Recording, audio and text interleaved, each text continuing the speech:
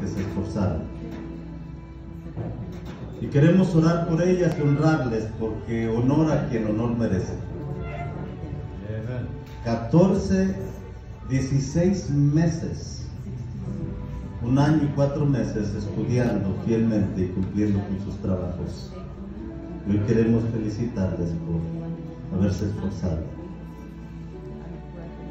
Y vamos a recibir algo especial. Doña Rosa, los certificados.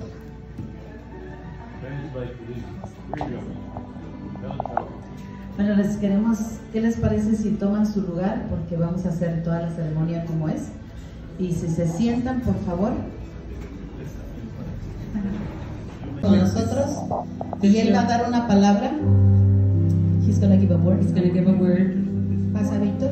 Y va a presentar a los graduados. He's going to present the, the graduates. Y ellos van a dar un testimonio They're going to give a testimony de un minuto o menos. of one minute or less.